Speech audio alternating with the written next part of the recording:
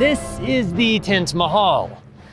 Actually, it's the Napier Outdoors 84,000 SUV tents. That's right, I said 84,000, not model 84, not model 8400. No, no, this blue monstrosity of polyester required an order of magnitude or two over normal, practical family tent model numbers. It's actually been a really damn good tent. Well, that is if you have about 12 cubic feet free to transport the damn thing. You can get it on Amazon or Cabela's, but I'm a cheap bastard, so I bought it off a guy in a Walmart parking lot who said he got an extra one for free by mistake. Yep, that's the world I'm living in. I wish I had a picture of that for illustrative purposes, but I don't, so here's some other crap that goes on in Walmart parking lots.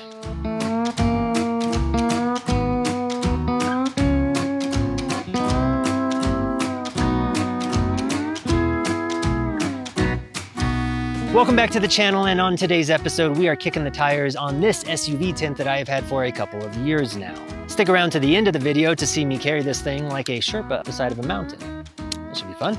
This is the Napier Outdoors 84,000, and it's nearly identical to the Napier 82,000, except that this is the Taj Mahal model with the extra extended screen room. So why buy a tent Mahal? Well, I have a family of four and a medium-sized dog, and after a few years of dragging them out into the woods, I realized that, well, they complain less when they're comfortable.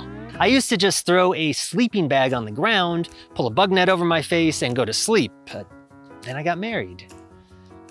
Now I have to drag this out every time I want to sleep in the woods. Which brings us here to freaking crazy town.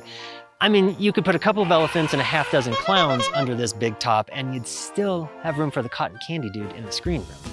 Now, for being so big, it actually goes up pretty easily.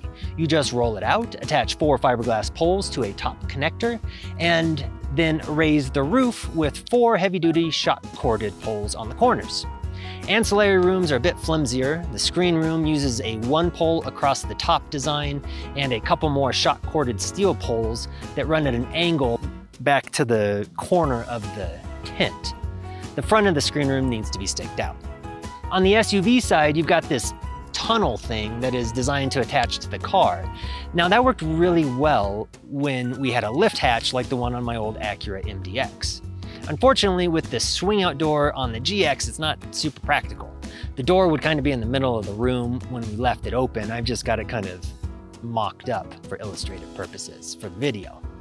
Now, one more note on using this sucker as an SUV tent. I don't know about you guys, but when I get to camp, the back end of my car generally looks like this.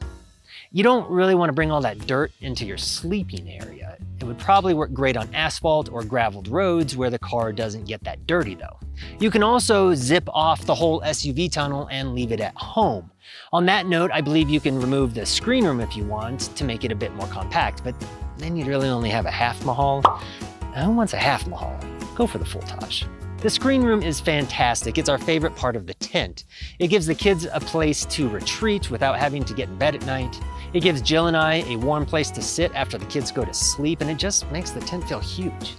It doesn't have a floor, but we usually drag a 10 by 20 tarp underneath both the tent and the screen room. The awning side works great as a nice little place to enjoy a view or cook in a light rain. Speaking of getting rained on, the last time we had this guy out, it rained on us all night.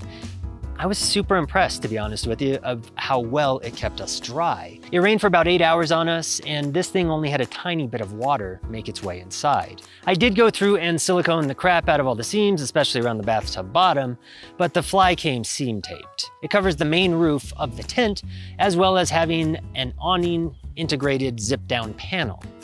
We got stuck in a monsoon in a leaky tent once. I woke up to find our mattress floating around the floor like Noah's Ark. It was scary. I almost had to eat the children. It takes about 15 minutes to set up with one person, but closer to 30 to put it away.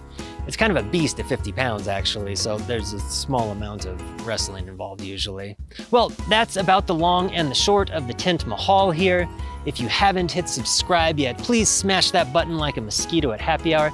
Leave me a comment or two about all the crap I got wrong and how bad my jokes are. Now here's that clip of how I got this here.